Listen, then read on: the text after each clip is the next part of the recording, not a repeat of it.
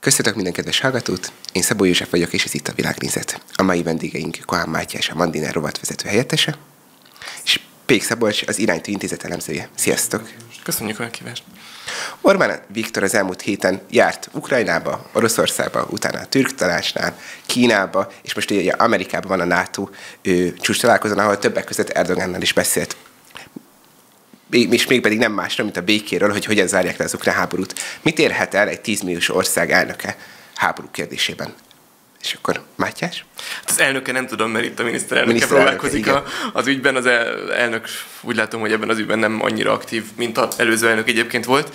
De a Ugye a politikában azt hiszem, hogy érdemes megkülönböztetnünk kettőfajta nagyon különböző cselekvést. Tehát van olyan cselekvés, aminek, aminek pragmatikus, konkrét célja van, aláírunk valamit, nem írunk alá, hozunk egy döntést, adót emelünk, kórházat építünk, tehát napi konkrét eredménye van annak, amit csinálunk. Meg vannak olyasmi, olyan cselekvések, amiket én normatív cselekvések alapján, vagy névvel illetnék. Itt az történik, hogy egy politikus hisz valamiben, ez egy nagyobb dolog nála, tudja, hogy önmagában az eléréséhez nincs elég ereje, és igyekszik tenni a maga eszközével annak az érdekében, úgy is, hogy nyilván tudja, és ezt Orbán Viktor nagyjából kettő percenként mondja el azokban a videókban, azokban az interjúkban, amelyek a békemissziója kapcsán készültek vele, ugye vitt ebből a célból magával egy svájci újságírót, akinek a, akin, akin keresztül a világnak ezekről beszámol, hogy Magyarország atomarzenája, katonai elrettentő képessége, gazdasági hatalma és politikai behálózottsága, az ahhoz nyilván önmagában nem elegendő, hogy megrettenjen tőle úgy Putyin, mint Zelenszky, és véget érjen vele az ukrajnai háború.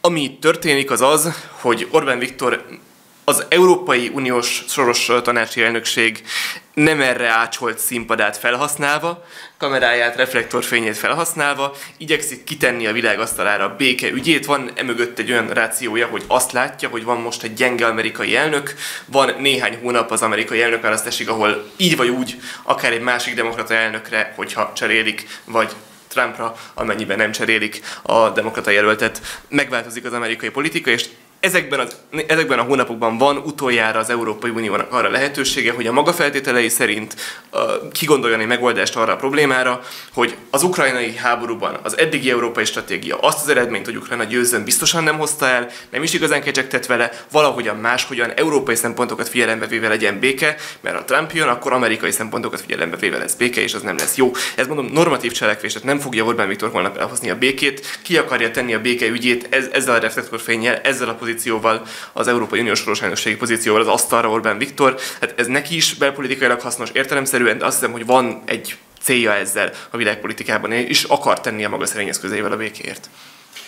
Abban a szempontból is azt gondolom, hogy mindenképpen racionális lépés, hogy azért azt tudjuk, hogy a háborúk nem tartanak örökké, tehát előbb-utóbb béke lesz, és ugye Orbántól megszoktuk azt, hogy mindig olyan területekre próbál benyomulni, ami majd be fog következni a jövőben, és hát ugye az valószínű, hogy hát nem tudjuk, hogy három hónap múlva, három év múlva, nyolc év múlva, de hát előbb-utóbb béke lesz, és akkor ő mondhatja azt, hogy ő volt az első, aki ezt, ezt hangosan követelte. És ezt mindenképpen el kell ismerni, tehát ez nagyon figyelemre méltó ez a turné, amit csinált, tehát tényleg beszélt a német kancellárral, beszélt Melonival, beszélt Macronnal, gyakorlatilag beturnézte a félvilágot, tehát ami jelentős katonai, gazdasági, politikai hatalom a világból jött volt. Ez mindenképpen figyelemre méltó, azt, azt el kell ismerni, ezért fel kéne lapozni a diplomáciai évkönyveket ahhoz, hogy ezt valaki hasonló turnét tudjon produkálni, de hát most jön, a, most jön a de, hogy ez például az ország szempontjából nekünk miért lehet jó. Tehát, hogy Magyarország ezzel igazából mi, mivel jár jól. Én kicsit azt érzem, hogy Orbán Viktor a saját politikai szobrát faragja, szóval a saját jelentőségébe vetett hitet még inkább próbálja növelni, de az, hogy ez konkrétan az ország szempontjából, a magyar hétköznapok szempontjából ő, hogy mindenkivel leül és tárgyal, itt ugye komolyabb megállapodásokat, ilyesmiket nem láttunk, sőt inkább azt látjuk mondjuk az európai téren, akik a, a szövetségeseink, tehát a EU 27-ek, 26-ok, ugye rajtunk kívül 26 ország, hogy azok inkább mereven elzárkóznak ettől, tehát ugye azokat lehetett hallani, hogy ezt tiltakoznak akár a külügyi főképviselő, akár a bizottsági elnök, hogy nem az Európai Uniót képviseli, tehát hogy ez egy kicsit olyan olyan magányos műsor volt abból a szempontból, hogy ez nem biztos, hogy le lett egyeztetve, pláne a Moszkva, Kievnek mindenki örült, hogy akkor végre nyit Kiev fele, de Moszkvai út ugye ez egy kevés, kevés ö, ö, ö, megbeszélt ö, történet volt. Igen, ugye az, hogy holnap olcsóbb lesz a kenyér Orbán Viktor békemissziójától, nem lesz holnap olcsóbb a kenyér, tehát valóban abban igazad van, hogy nem, hogy nem segít konkrét magyar megélhetési ügyeket holnap, nem, hogy nem tesz rendbe konkrét belpolitikai problémákat holnap, hanem egyébként még valamennyire, bár egyébként én ezt nem érzem most annyira súlyosnak, szerintem ezt beáraszták a szövetségesek, hogy Orbán Viktor néha találkozik Vladimir Putyinnal, de valamennyire, valamennyire még okoz feszültségeket is persze Orbán Viktor meg Magyarország körül ez a, ez a látogatás sorozat. Ugyanakkor, tehát a megfontolás mögötte az az, hogy Persze Magyarország navigálhatna úgy, ahogyan tette Ficó megválasztásáig Szlovákia, ahogy teszi azóta is Csehország, és lehetne csendesebb egy olyan ügyben, amelyben lehet, hogy igaza van. Én ezt őszintén személyesen is hiszem, hogy magyar álláspontban több, több igazság van az ukrajnai háború kapcsán, mint az európai fősodratú álláspontban, de semmiképpen nem rajta múlik. A, a mögöttes megfontolás, és itt, itt térek a magyar mindennapok szempontjára rá, az az, hogy összességében Közép-Európának rossz, hogy háború van, összességében Németországnak, a német gazdaságnak, ami a magyar gazdaságot elsődlegesen befolyásolja, azt, hogy Magyarország mekkora tud növekedni, az elsődlegesen a német gazdaság határozza meg annak az alakulása. Összességében ebből a szempontból, tehát Közép-Európa térségének különösen is rossz, hogy háború van. És Magyarország jövőjét, Magyarország napi valóságát, napi megélhetését az határozza meg. Legnagyobb mértékben, és itt összességében Európa részeként értelmezendő Magyarország, hogy ennek a háborúnak mikor, hogyan lesz vége, mert önmagában a háború folyása jár a magyar emberek életére is egy mindennap érezhető negatív hatással. Az elmúlt két évben inflációban volt része a háborúnak, nem csak annak, ne nyissuk ki a háborús infláció vitát, nem csak annak volt benne része, Ma pedig, ami szerintem egyetértési pont lesz közöttünk, azért ahhoz, hogy az Európai Unió gazdasága kemény 0% növekedést tud produkálni az elmúlt évben, és ma sem látom beindulni Európa növekedési motorjait. Azok az országok, amelyek növekednek, Románia, néhány dél-európai ország, azok leginkább az Európai Uniós helyreállítási programnak a következtében növekednek. Tehát pénzt pakolunk át Észak-Európából Dél-Európába, de Európa, mint olyan, mint torta, mint gazdasági térség, az nem növekszik, ennek köze van a háborúhoz. Hát ilyen konkrét hatása, hogy a magyar és a román kenyérár és bérek viszonyában ö, hozzájavulást Orbán békemissziója. Én sem állítanám, hogy hoz. De az Európai Unió benne a Németország dominált gazdasági térség, és benne egyébként a V4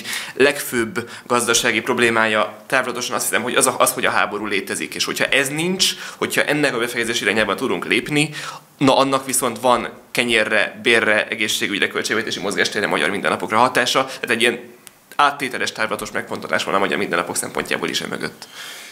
Igen, annyiból talán némileg vitatkoznék, hogy a gazdasági válság azért már háború előtt is mutatkozott, tehát például mondjuk, nem tudom, itthon is a benzinár sapka, az azt hiszem már 2021 novemberétől volt, tehát akkor a háború előtt még hónapokkal voltunk.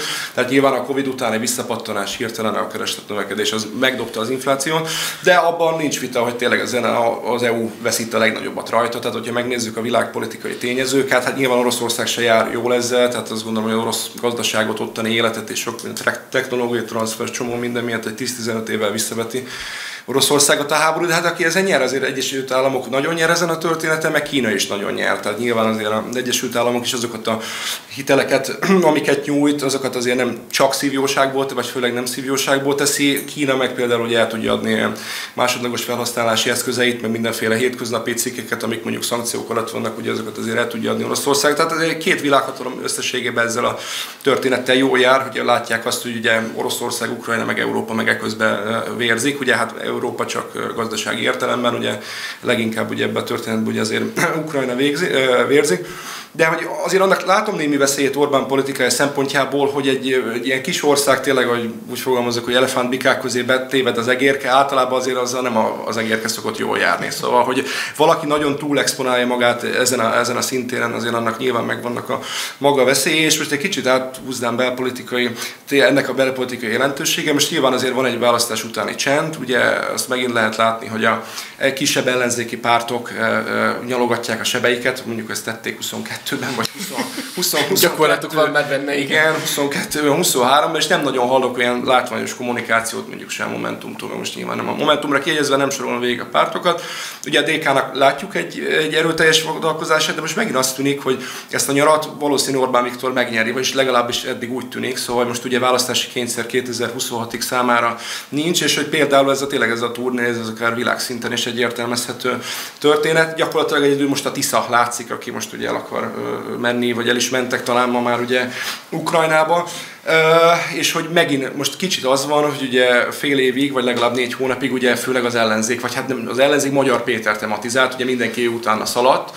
Most nem ez a helyzet, szóval, hogy most azt lehet látni, hogy a, a Magyar Péter is most egy lemaradásba követ, hogy Orbán elment ki ebbe, akkor most ő is elmegy. Ő is elmegy uh, Ukrajnába. Most nem tudjuk ki fogni fogadni.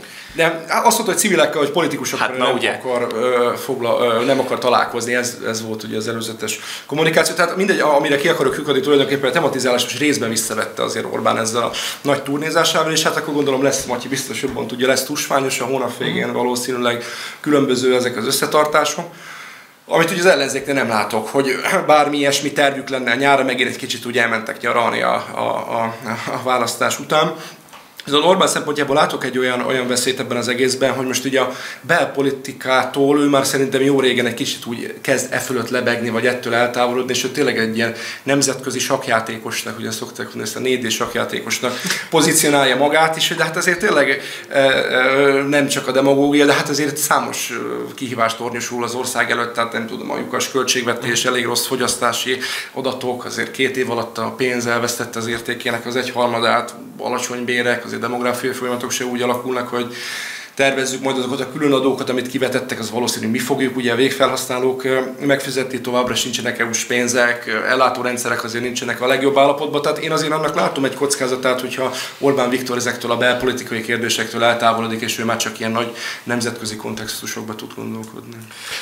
Igen, tehát az, hogy a kormányzás minősége hogy alakul, ennek ahogy minden kormányra, úgy Orbán Viktor kormányára is vannak súlyos következményei. Annyiban legyünk méltányosak, hogy pont ezekben az években, amiket elmondtál, uniós pénzek, nagy intézmények finanszírozása, tehát ebben azért pont ennek az évnek az elejével beállt egy nem elégséges, de pozitív irányú változás. Az Európai Uniós pénzeinkben most már nem az az igazság, hogy nem jönnek uniós pénzek, hanem most már az, az igazság, hogy nem jön a helyreállítási alap, és egy kisebb része nem jön a kohéziós pénzeknek. De az uniós pénzeink, a kohéziós pénzeink döntő többségéhez hozzáférünk, és alapvetően még nagyjából 2025 végéig az a helyzet, hogy most a helyreállítási alap ez egy külön ügy, ez magyaráz sok mindent a magyar relatív gazdasági pozíció alakulásának a változásából, hogy finoman fogalmazzak a, a közép-európai térségben, de a kohéziós normál uniós pénzek kapcsán 24-25-ben gyakorlatilag úgy megy Magyarország, mint hogyha ezek jönnének, mert a zárolt összegek jelentette falba, jövőre fogunk beleütközni, most még nem fogunk beleütközni ebbe a falba. A tanári béremelés szerintem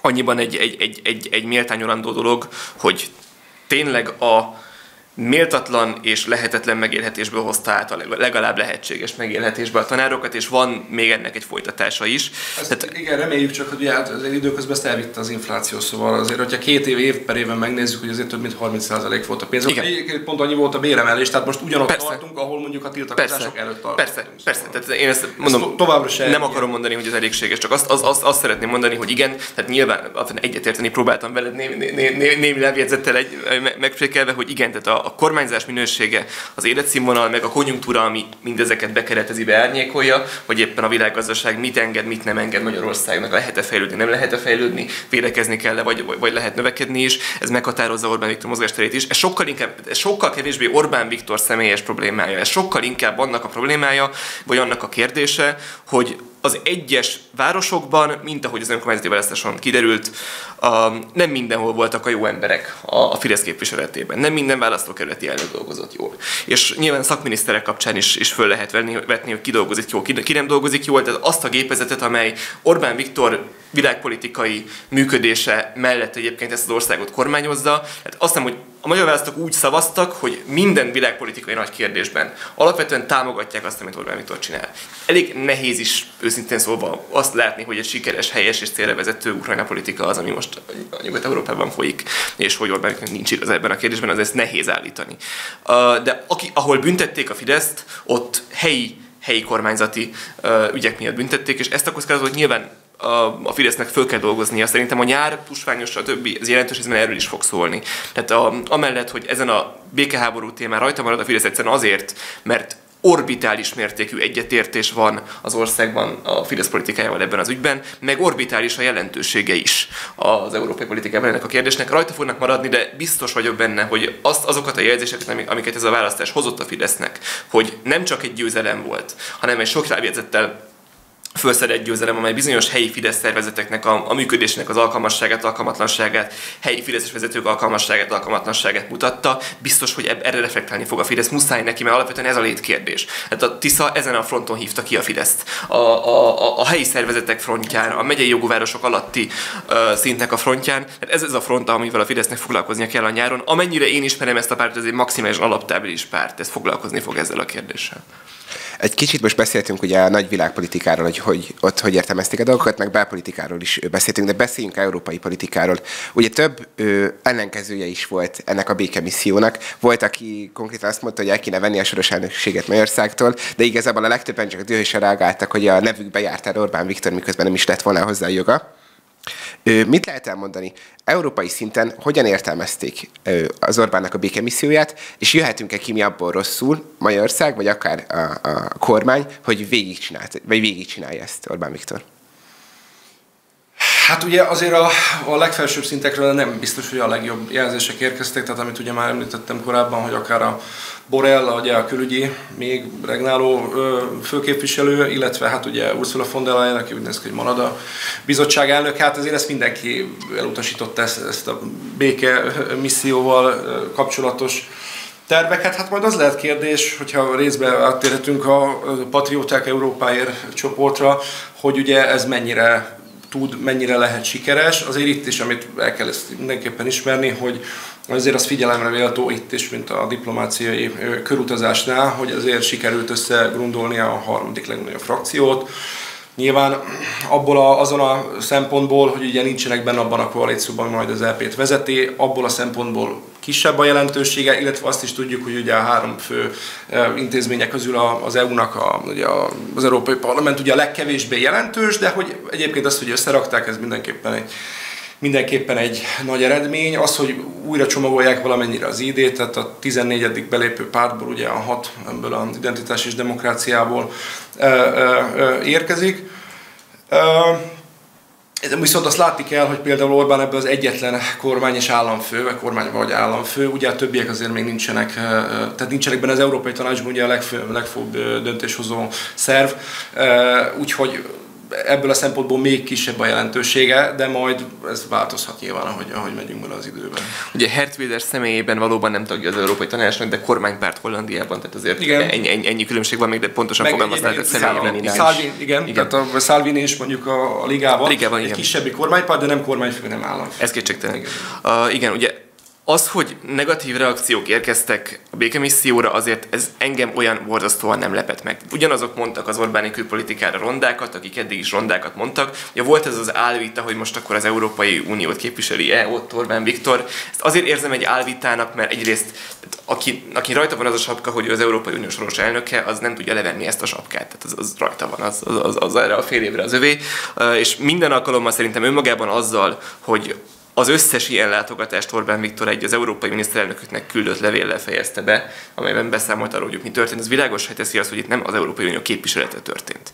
Tehát itt, hogyha az Európai Uniót képviselte volna Orbán Viktor, akkor megállapodásokat tudott volna kötni ezzel, azzal, azzal az Európai Unió tagállamainak a nevében. Nem, itt ő most, ő, aki személyében az Európai Unió soros elnökségét adó országot vezeti, és ezzel egy, egy, egy, egy megemelt nemzetközi súlyjal bír, önmagában ettől nem azért, mintha ennek bármiféle formális alapja lenne, ezért kihasználta ezt a politikai lehetőséget, elment, beszélt, tényeket keresett, mozgástereket keresett, és beszámolt erről a többi európai kollégájának. Én ebből nem olvasom azt ki, hogy az Európai Unió képviseletében ment volna oda. Putyin mondta ezt, Putyin hazudott, Putyin nem először hazudott. A, az, az, az a... például az egy kérdés, hogy ugye Moszkvába Igen. miért megy el, vagy meg ráadásul szinte eltitkolva azt az utazást, tehát ugye azt mondta, hogy szólt a nato de hát amikor már levegőben volt a gép, akkor hát szó, szólt a nato okay. de mondta, hogy a, sőt ezzel ő maga is dicsekedett, hogy az utolsó pillanatig, hogy amíg a lengyel légtérföl nem értek, ami egyébként nem igaz, mert azt hiszem a Ponyi Szabolcsik már előtt megírták, hogy a gép menni fog valószínű Moszkvába. Szóval, hogy ez azért nem annyira volt be, és ennek azért nem nagyon örültek se, nem csak az Unióban, a NATO-ban. De ez ugye úgy alakult, hogy a, ak- akkor szivárgott ki a dolog, amikor, amikor Nyilván a... ezt nem egy nappal előtte kezdik ja. szervezni, tehát ez két nagyon elfoglalt emberekhez. Hát ez, ez, ez akkor szivárgott ki. hónapok óta már tettem a szervezést. Akkor szivárgott ki, amikor a lengyel légtérben az, ez az engedélyt megkérték a hozzáféréshez. Na most azért, most igazán nem akarok én uh, beszélni az ellen, hogy az ember koordináljon szövetségeseivel egy, egy, egy, egy jelentős oldalai külpolitikai lépés megtétele előtt.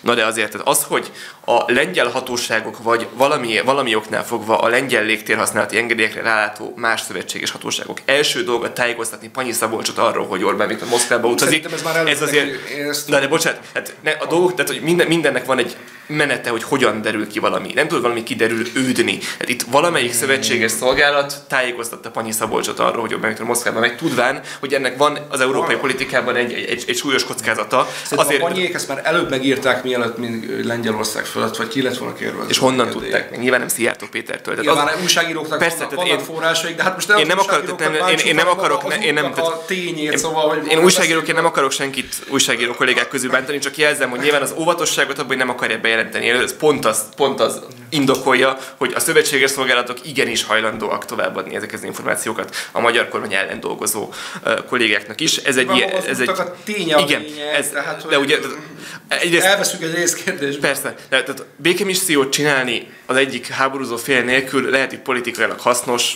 értelmesnek kevéssé mondanám. Hát már is nyilván azt gondolom, lett volna kerek. Lehetne, hogyha nem tudom, az ukrán fél, az orosz fél, mondjuk az Unió, meg az Egyesült Államok, akinek van valamiféle Persze. politikai, meg katonai nyomás gyakorló ereje, akkor lehet, de hát se az egyik, se a másik nélkül nem Persze. lehet, tehát az nehéz őket leütetni egy De az ott nem vagyok benne biztos, hogy az Orbán Viktor lesz. Ugye volt egy próbálkozás Svájcban, ugye ott nem Igen. Hívták el az oroszokat, tehát amit azért mondjuk a némileg azért hibának érzek, hogyha tényleg valaki békét, akkor azért a legalább az egyik háború, vagy mind a két háborúzó felet el kell hívni.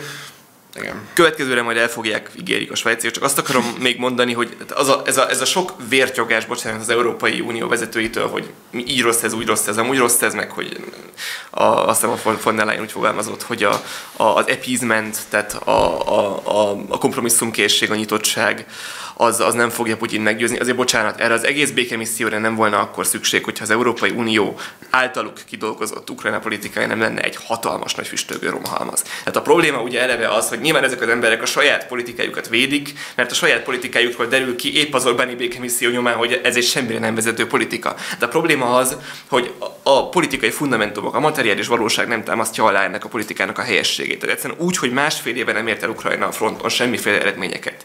Ezzel morális morálisan lehet még helyesnek tartani azt, hogy Ukrajnát támogatni kell katonailag, és hogy ez a, ez a megoldásnak a módja, de a gyakorlatban egészen bizonyos, hogy ez a katonai helyzet, ami ott van Ukrajnában, ez egy másfajta megoldási módszert ír elő, és nem teszi tarthatóvá azokat az európai vörösvonalakat, mint például, hogy semmiféle területről tárgyalni, vagy Vladimir Putyinnal tárgyalni nem lehet. Tehát az a probléma, hogy nyilván azok a politikusok, akik ennek a jelenlegi szerintem kudarcos ukrajna politikának a felelősei, azok nyilván nem fogják örömmel fogadni azt, hogyha valaki világossá teszi és ki, ki, kiviszi a fényre az ő kudarcukat. De hát probléma az, hogy az ő kudarcok nélkül nem foglalkozna egy 10 milliós um, or, uh, kormánynak, egy, egy, egy országnak egy mitugrász miniszterelnöke azzal, hogy itt bejárja a világot. Tehát egyszerűen önmagában a politikai helyzet, amelyeket ők hoztak részben létre, ők engedtek létrejönni, az indokolja azt, hogy valaki, akinek erre nem volna mandátum, akinek ehhez nincs meg a súlya, felemeli a kezét, hogy ez nem jó így, és ő maga próbálkozik jobb hiány békemisszióval. Itt, itt bocsánat, de itt felmerül egy kérdés akkor viszont, hogy az egész békemissziónak az európai levetítése, ez arról szól, hogy az a szuverenista gondolat, amit Orbán Viktor már nagyon régóta képvisel, az vajon tud-e egy ilyen magasabb színvonalra lépni? Mert végül is valahol a frakció létrehozása is erről szól, és ugye amikor bejelentették magát a szövetséget, meg az ugye a legelső bejelentést, akkor Orbán Viktor azzal nyitott, hogy 27 országban, 20 országban olyan, ember, olyan pártokat szavaztak meg, akik változás változást akarnak elérni, akkor lényegében azt kijelenthetjük, hogy Orbán Viktor talán eljutott odáig, hogy végre akarja ezt a változást hajtani, amiről, amit már nagyon régóta mond? Én uh, még annyiból a Matyira is reagálva, hogy nyilván most ebből a stúdióban nem is feltétlenül Orbán Viktor fogja ezeket eldönteni, tehát azt gondolom a háború kapcsán is, hogy amíg mondjuk Ukrajnában van harci láz, tehát ők azt gondolják, hogy van esélyük nyerni, és van esélyük megtartani a területeiket, tehát ugye erre szokták kérdezni, hogy melyik négy megyét adnánk át szívesen valamilyen megszálló hatalomnak nyilván, nyilván egyiket se, tehát addig valószínű, hogy tartani fog a háború, ez, ez szinte biztos.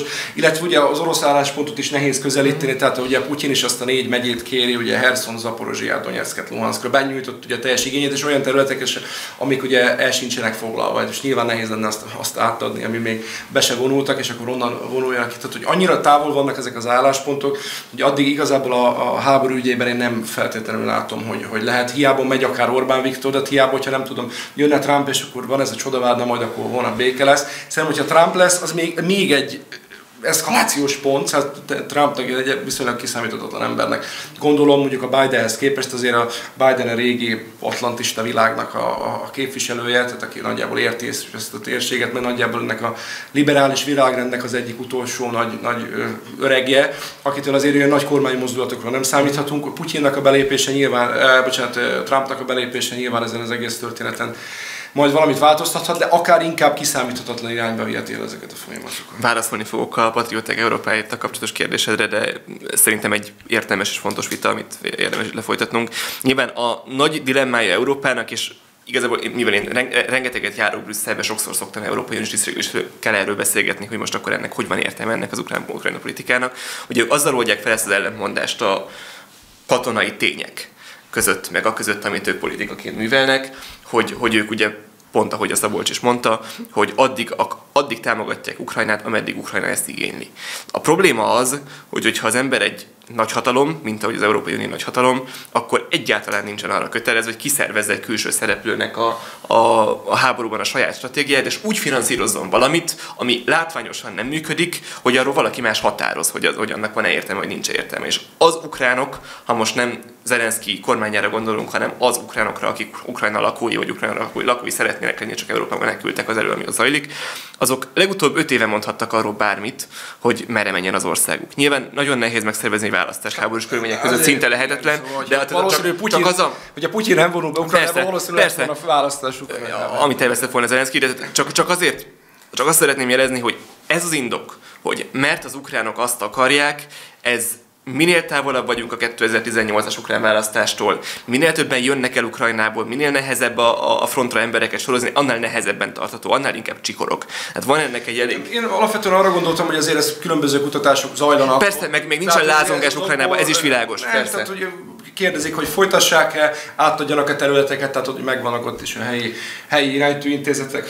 Igen, helyi mandinerek. helyi, helyi, helyi mandinerek is igen. ugye megvannak, és ott még továbbra is támogatják a háborút. Ugye nem tudom, ez mondjuk benéz egy abszolút többség alá, vagy most már annyira alacsony lesz a támogatottság, akkor nyilván a politikának is arra reagálnia kell. Nyilván valószínű fog, és nem tudom, hogyha már csak 10 vagy 20 százalék támogatja a háborút, arra nyilván a politikai osztály hiába volt választás, nem volt választás, most nyilván az országnak a egyötöde meg van szállva, meg szét van lőve, hát ott azért elég nehéz lenne választást tartani. Szóval Persze, ebből a szempontból nem ez, a, tényleg, nem, nem, nem, ez a kérdés, és nyilván a, tehát van ez a két alapvető állítás, hogy Ukraj, az ukránok akarják ezt a háborút még vívni, ez egy egyre gyengébb lábakon álló állítás, még nagyjából igaz, de egyre gyengébb lábakon áll, és van emellett az a másik kérdés, ami számomra egy igen fontos kérdés, hogy én nem érzem magam az Európai Unió adófizetőjeként arra kötelezve, hogy én hogy, hogy csak azért támogassak egy nem működőképes stratégiát, mert az ukránok azt akarják. Tehát ez nem, az, ez nem Ukrajna saját fegyverei és saját pénze viszi ezt a háborút, Ukrajna emberei, Ukrajna vére, de minden más, ami ebben a háborúban van, az nem Ukrajnáé. Hát az, hogy ne döntsünk mi Európai Unióként valamiről, hogy hagyjunk egy értelmetlen dolgot futni csak azért, mert most még úgy gondoljuk, hogy az ukránok úgy akarják, ezt Szerintem ez egyébként Trump-Biden között a legfontosabb különbség is. Tehát Trumpot nem érdekli, között, nem, nem érdekli különösen, hogy az ukránok mit gondolnak. A saját pénzéből finanszírozott háborút, azt, abba szeretne beleszólni annak a végébe. Patrióták Európáért uh, egy, egy, egy, egy, egy, egy magán kívül nem sok minden érdekel. Ez kétségtelen, ez ebben a helyzetben szerintem egy hasznos dolog. De a Patrióták Európáért. Szóval ugye itt ami történt, az az, hogy egy megtisztult az európai jobb oldal. Tehát kidobta magából mondjuk az AFD-t, amit én rendkívüli mértékben üdvözlök. Ugye az AFD az egy, az egy belül meghasadt, igen súlyos identitásválsággal küzdő olyan párt, amelyben ugyan én nem szeretem ezt a szót használni, de egyszerűen, hogyha valaki az Orosz Föderáció színeiben földíszített nyakkendővel vesz részt a győzelemnapi fogadáson a berlini orosz nagykövetségen, akkor egyszerűen nem tudom megsporolni azt, hogy azt nem mondjam, hogy ebben orosz ügynökök vannak. Ez nem most Sajnálom. Nem, most nem ez, ez, ez Szinohupala volt a, a, az AFD-nek a társelnök. Ez az a helyzet, hogy az AFD-nél oly mértékben lóg ki sok szempontból a lóláb, hogy nem tudott az európai jobboldal nagyobbra nőni, egyesülni, anélkül, hogy ebben a formában az AFD-t kivesse magába. Az AFD szakadhat, az AFD változhat, sok minden lehet még az AFD-vel, de ebben a formában nagyjából senki más nem akar az európai jobboldalon egy AFD-vel együttműködni. És az, hogy ez kiszakadt, tehát ez a, azt most 15 mandátummal rendelkező AFD kiszakadt a, a, az Európai Jobboldal Szövetéből, ez lehetővé tette azt, hogy az Európai Jobboldal a, nyisson egymás felé is, tehát legyen egy valamilyen jellegű együttműködés. A Meloni vezette 70 valahány fő körüli ICR, meg a most ennél kicsit nagyobb lenne, 84 fős patrióták Európáját között lehetővé tette azt, hogy be, behívjon az Európai Jobboldal a maga soraiba pártokat a liberális frakcióból ugye a, a, az Ánót, Andrei Babisnak a pártját, az ICR-ból. ICR-ból. Ugye? Talán a az állam. Volt egy pár hónapos időszak, de azt hiszem, hogy, hogy, hogy abban a pillanatban, amikor kiléptek, akkor nem voltak felfüggesztve. Uh, hogy áthozzon az ICR-ból egy spanyol elég jelentős pártot, meg hogy a, meg hogy a Fidesz is uh, meg tudja ugrani azt a belpolitikai problémát, vagy bilaterális német-magyar problémát, hogy ugye a Fidesz és az AFD közeledése az a magyar-német kapcsolatok szempontjából sem lett volna egy, egy, egy, egy jó dolog. Tehát ez önmagában szerintem egy, egy strukturális problémát oldott meg az európai jobb oldal. Most ettől még önmagában szerintem el fogja tudni játszani a három nagy európai párt azt, hogy hogy, kiz, hogy, hogy azt a kordon szanitert, ami az identitási demokrácia, meg az ICR uh, mellett megvolt az Európai Parlamentben, hogy nem engedték őket tisztségeket betölteni, szerintem ezt meg fogják tudni hosszabbítani ezt az eljárást, továbbra is ez lesz a helyzet. Ugyanakkor a struktúrális probléma már nincsen ott. Tehát nincs egy ilyen toxikus párt az európai jobboldalon, amivel az ország érdekét nézve, az ország és Németország kapcsolatát nézve, vagy magát a párt irányvonalát, tartalmát, programját, politikáját nézve is az európai jobboldal döntő többsége nem kívánt közösködni. Ez szerintem önmagában egy hatalmas nagy dolog, és látszanak is az eredményei abban, hogy milyen gyorsan összeállt ez a frakció.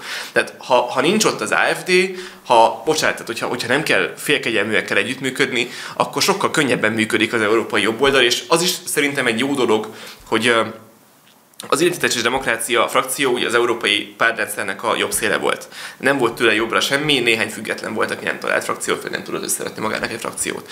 Most, hogyha létrejön, és én szurkolok neki, létrejöjjön az AFD, meg a Mi Hazánk és a többiek szélsőjobbos frakciója, akkor világossá válik az, ami egyébként az európai választók számára már így is világos, hogy ezek a pozíciók, amiket Marine Le Pen képvisel, amiket Orbán Viktor képvisel, amiket eh, Herbert Kikül képvisel, vagy Andrei Babis képvisel, ezek nem szélső jobboldali pozíciók. Ezek igen közel vannak, ezek a pozíciók az európai, az európai állampolgárok nézetrendszerének valahol a közepéhez. Jobbra vannak tőle, de ezek már be, bekerültek nagy európai országok, meg közép-európai országok politikának a centrumába. Tehát az, hogy 30% környékén van a valós támogatottsága a nemzetömörülésnek Franciaországban, függetlenül attól, hogy most a választói matematika az máshogy adta ki a parlamenti választáson, az azt jelenti, hogy ez nem egy szélsőséges politika, amit Marine Le Pen folytat. Orbán Viktor szélsőséges politikája elkormányoz 14 éve egy közép-európai országot, jól rosszul, de elkormányoz. Andrei Bábis szélsőséges politikája kicsit több mint négy éven keresztül uralta Csehországot. Tehát az a szélső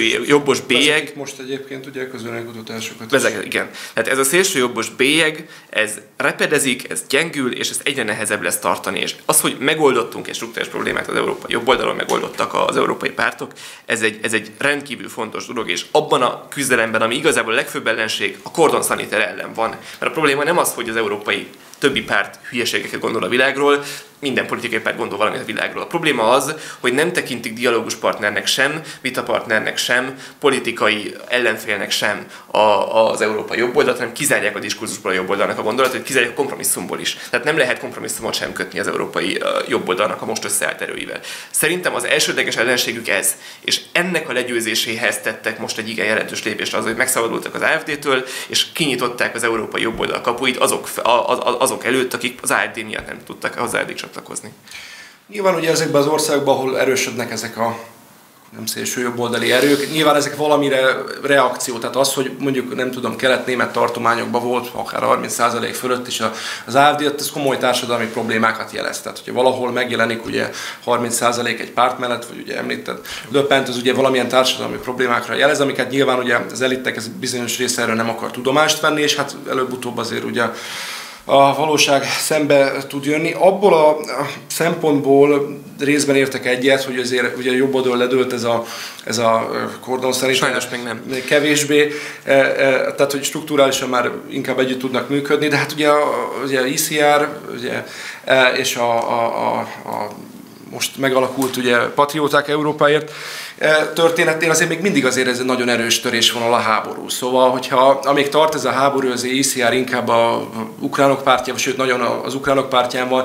Itt azért megtalálható korábbi, hát mondjuk rossz szál, vagy rossz párti elemek is azért most ugye ebbe a, a újra csomagolt idében. Ugye hát azért Salvini-nél, meg Löpennél is azért merült föl olyan kérdések, hogy azért bizonyos orosz kampánytámogatásokat ugye e, adott esetben elfogadtak. Tehát amíg ugye megvan ez a kettős, tehát amíg tart a háború, ez nem, nem lehet összefésülni ezt a kettőt, ez szerintem nyilvánvalóan látszik. Ugye ICR-nek most 78, ugye a Patriots for Europe lesz 84, tehát ez egy 162 képviselővel, a néppárt után ugye a második legnagyobb erő lenne egyébként Európában, amit nyilván nem lehetne megkerülni, ha majd esetleg nem lesz háború. De hát nyilván azért sokat mondó, hogy például ugye a Orbán Viktor korábbi kötélbarátai, ugye a PISZ, ugye a lengyel korábbi kormánypárt, a jog és igazságosság nem lépett ki ugye ebből az ICR-ban, ez egy jelentős frakció, ugye Lengyelország azért mégis 40 milliós ország, pontosan emiatt, amit ugye említek, ugye emiatt a, a törésvonal miatt, de hogy nyilván, szóval most megint átvettük az Európai Parlament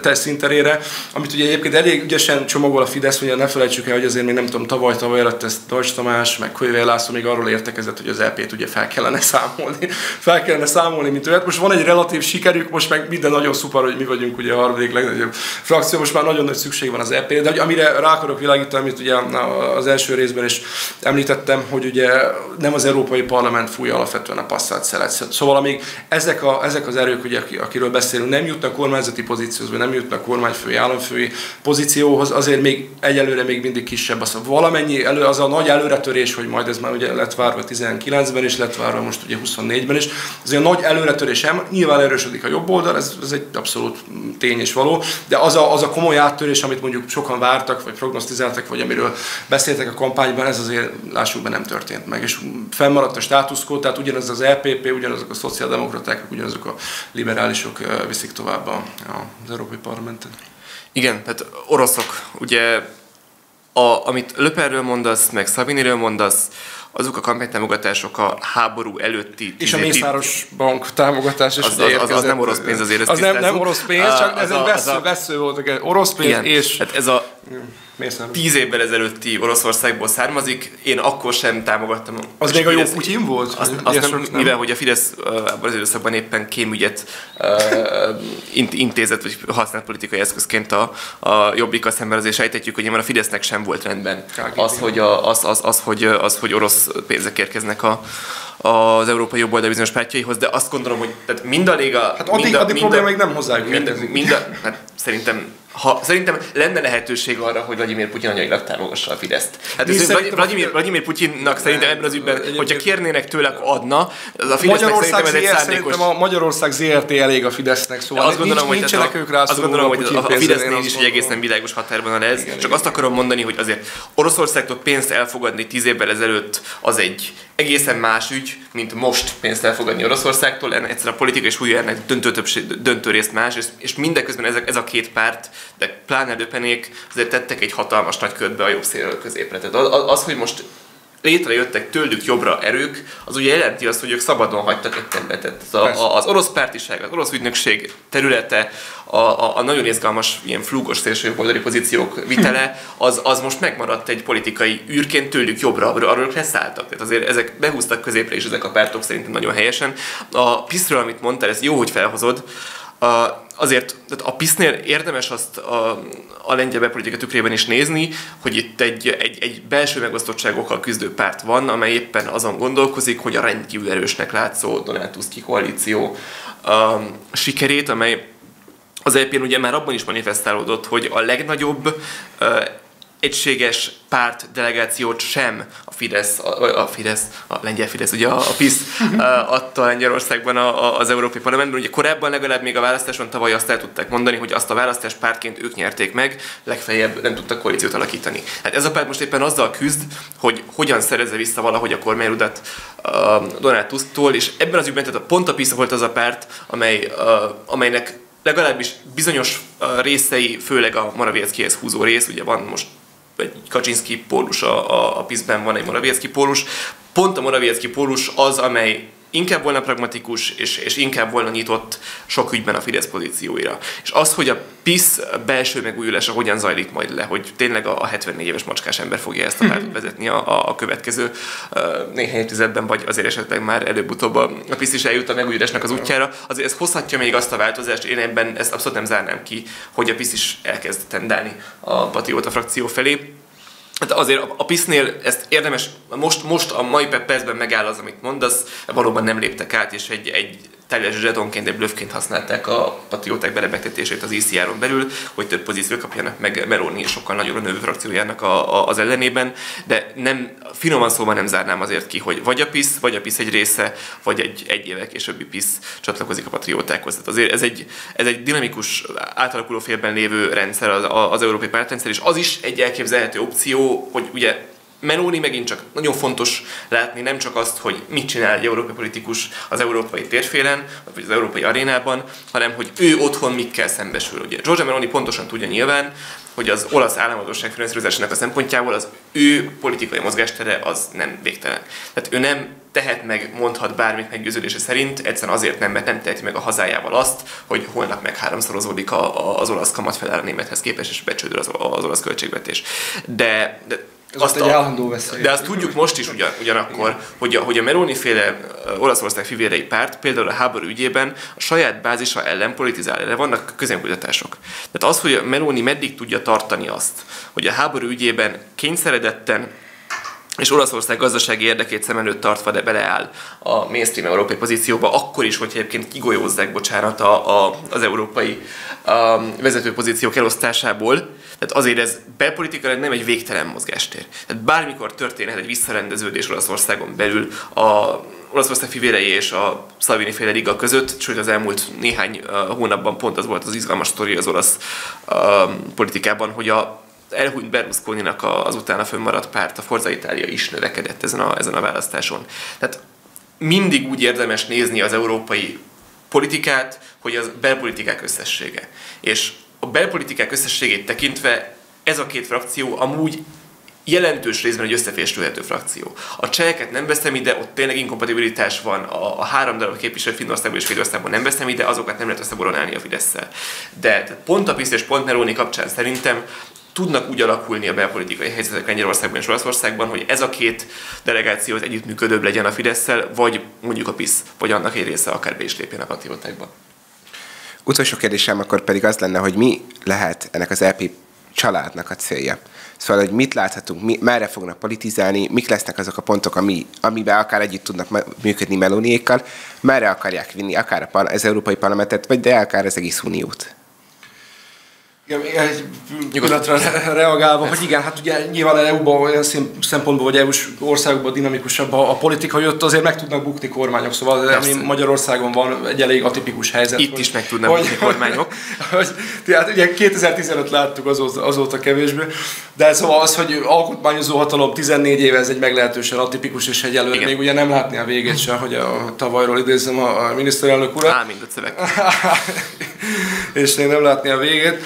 Szóval ott azért akár Melónival is történhet bármi, akár bárki mással is, akár nem tudom, majd egyszer kivetve lépés löppennek is. Szóval egy nagyon dinamikusan mozgó történetek, és hát Olaszországhoz képest, ami ott van, ez egy meglehetősen hosszú kormányzás, ami, amit most láthatunk, egy nagyon stabil kormányzás, mert ugye 45 után az olasz kormányoknak az átlag élettartom azt hiszem talán másfél év volt, szóval annyi, annyit értek túl az olasz kormányok, szóval ehhez képest ez egy nagyon történet. Tehát, hogy a, bárki, aki most nem tudom, Orbán Viktor, vagy bárki belevetíti a nagy reményeit, lehet, hogy nem tudom, fél év múlva, egy év múlva ez egyáltalán nem lesz tényező. Szóval, hogy ez egy, egy elég ingományos talaj, és amire hát visszatérek, amit már sokszor említettem arra, hogy hogy ugye nem ott dőlnek, amíg ezek az erők nem kerülnek konkrétan kormányra, addig igazából komoly érdekérvényesítő képessége, hogy mondjuk az Európai Tanácsban ezeknek nincs egy komoly, széles koalíciója, addig nem tudnak nagyon áttörni Európában belül. Szóval, hogyha mondjuk nem tudom, Németországban is visszatér a CDU, CSU, akkor megint marad egy ilyen, egy ilyen középpolitizálás.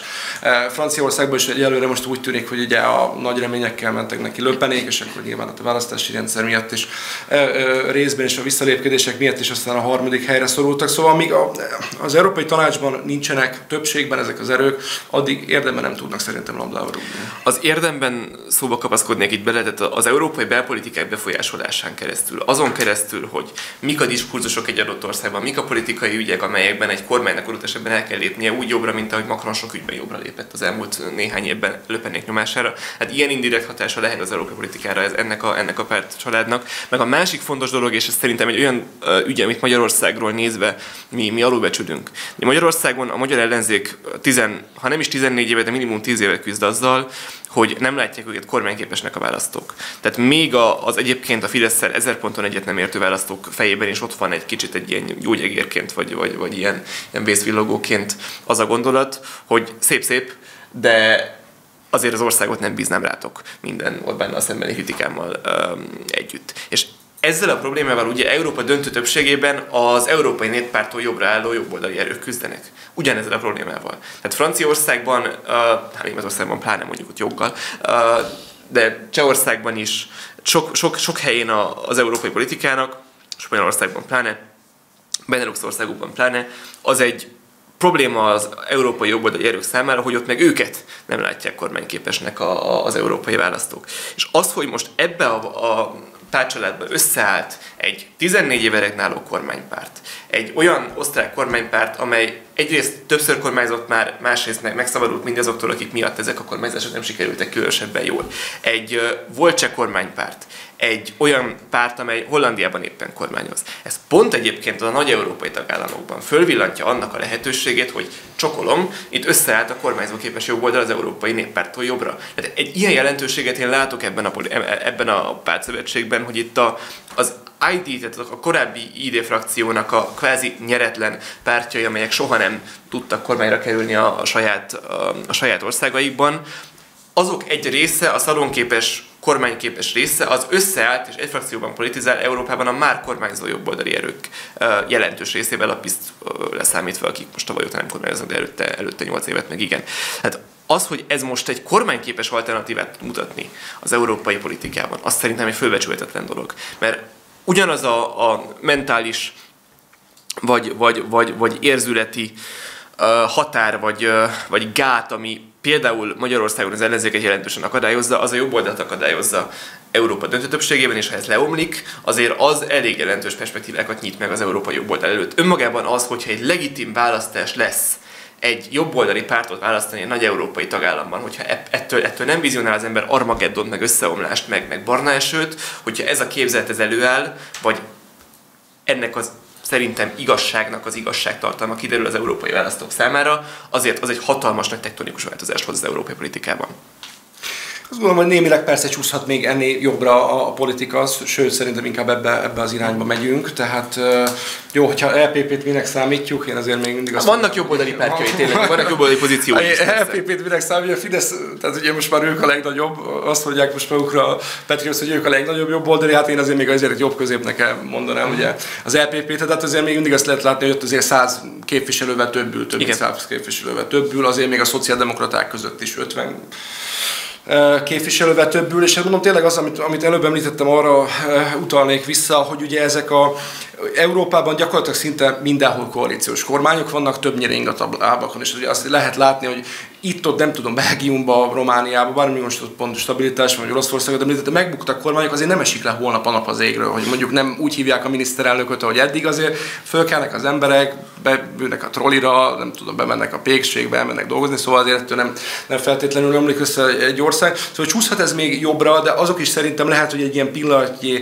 történetek, és ugye most ugye ezek, amikor nincs valaki kormányon, nagyon könnyű nagyokat ígérni, és azt mondani, hogy na majd itt ilyen jobboldali és nagy szólamokkal és különböző populista szólamokkal egy perc alatt megoldjuk a migráció kérdését, a klímaváltozást, ezeket a társadalmi problémákat, bérkérdéseket, stb. Csak amikor ott vannak kormányon, ez kiderül, lehet, hogy akár lesz, nem tudom, több jobboldali kormány, vagy akár koalíciós kormány, aztán lehet, hogy két éven belül megbuknak, mert rájönnek az emberek, hogy egyébként ez nem oldotta meg, és hogy még, még mindig azt látom, hogy azért a európai politikának a centrum az ország nagy többségében azért még inkább tényleg ebben a centrumban van, ahol centrumpártok, kicsit jobb középpártok, bal középpártok, szóval nem nagyon csúszunk ki még érdemben. Azért bizonyos területeken, tehát mondjuk ilyen leszakadtabb régiói Németországnak, ugye, amit említettünk, hogy mondjuk a kelet-németországban erős az AFD, meg vannak bizonyos a regionális területek, ahol ez erős, de hogy nem látom azt, hogy amit a Matyi említett, hogy egy ilyen tektonikus mozgás még elindulna. Nem tudom, adhatunk ennek majd még megint öt évet, simán lehet, hogy addig még mennek arra a viszonyok, meg simán lehet, hogy addigra befejeződik a háború, és akkor mondjuk össze lehet, jobban össze lehet fésülni az európai jobb oldalt is. Kaha Mátyásnak és Pixabolsnak köszönöm, hogy rendelkezésünkre álltak. Köszönjük szépen. Kedves hallgatóinknak pedig köszönjük a figyelmet, ez volt a világnézet a mikrofonnál Szabó Józsefet, ha látták, viszont hallásra, viszont látásra.